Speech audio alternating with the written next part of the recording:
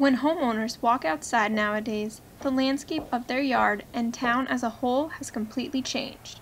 Wires are down on the ground, and trees that stood for almost 50 years also hit the ground or are inching closer to falling every single day, the roots being exposed representing the damage Sandy did. One woman told her story from a town that was hit the hardest during Sandy, Hoboken, New Jersey. Within seconds, maybe a couple minutes, I looked out my window, and the next thing I knew, there was an ocean forming outside of my apartment um, where I saw cars completely underwater. It was just pitch black, there was screaming, there was fear all over the place. Nobody knew where they were supposed to go or what they were supposed to do. Um, there was no food anywhere no convenience stores, no grocery stores, and everything was just underwater. As you can see, Sandy left a mark on many towns such as this one in New Jersey, and a memory that many will never forget. Sandy brought $25 billion of lost business activity.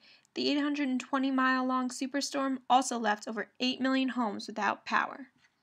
Although the Jersey shore was destroyed beyond repair, Connecticut beaches were still impacted as well. At a beach in East Haven, one homeowner discussed his experience.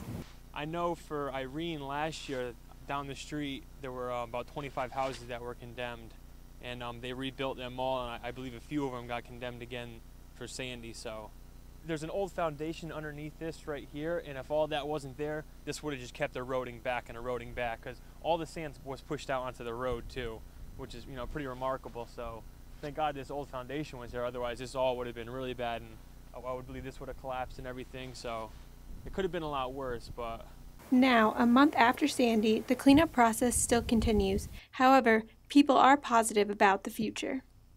Now I'm surveying this to get all the sand back, you know, fix the beach right now, and um, we're doing taking some precautions for for some future storms, just so you know we'll be ready for them, just as far as elevations and stuff. For Quinnipiac, this is Jill Talbot.